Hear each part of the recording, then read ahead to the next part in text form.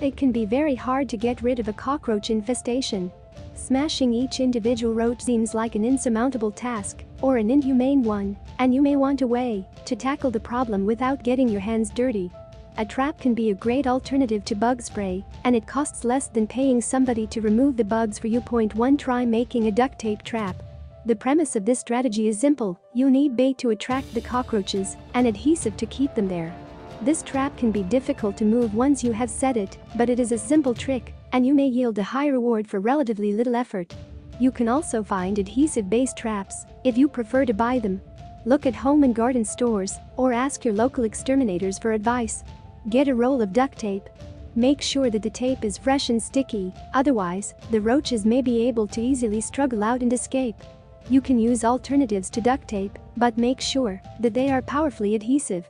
Scotch tape will not do, nor masking tape. Your trap must be able to hold the cockroaches until you are able to remove them from your home. Point 3 Choose your bait. Anything with a powerfully sweet or oily smell will work. Onion is a common choice, although you can use anything fragrant. Try using a small strip of a fresh banana peel or sweet, overripe fruit. Consider using a small piece of bread. If you have noticed the cockroaches in your house being particularly attracted to any given food item, try using that as bait. If you wish to outright kill the cockroaches, you can buy gel bait spiked with active ingredients that poison the insects. Bear in mind, however, that these are not always attractive to roaches and that they may not be as effective as advertised. Contact a local home and garden store or pest control center. Make sure to only use a small portion of your chosen bait. If the bait spills over the edge of the tape, there will be little motivation for cockroaches to get themselves stuck. Slice the onion, fruit, or other food into a small but substantial chunk. Point 4 Set the bait.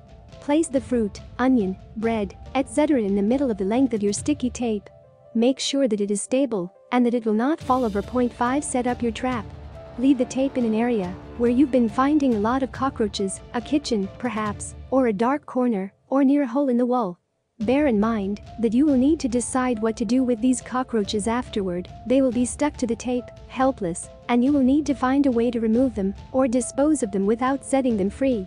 Try putting the trap in a high place, like the top of your kitchen cabinets or the top of your fridge. Roaches like to scurry in high places. 6 Wait. Cockroaches love the dark, and they tend to do most of their foraging at night. Leave the tape where it is overnight, and do not disturb it until the morning. When you check the trap at the end of the night, you should find a lot of cockroaches on it. To dispose of the cockroaches, you can either kill them or release them humanely. To release the cockroaches humanely, pick up the duct tape and take it outside. Bring it at least 100 feet from your home, then shake off the roaches and throw away the tape. If you don't want to pick up the trap with your bare hands, wear gloves or use a dustbin. Alternately, place a box over the tape to enclose the trap, then side a piece of paper underneath to hold the roaches in place while you bring them outside. If you're going to kill the cockroaches, you can simply throw away the duct tape with roaches attached. Make sure to close up the bag or bin once the insects are inside, otherwise, they may crawl out, rendering your efforts useless.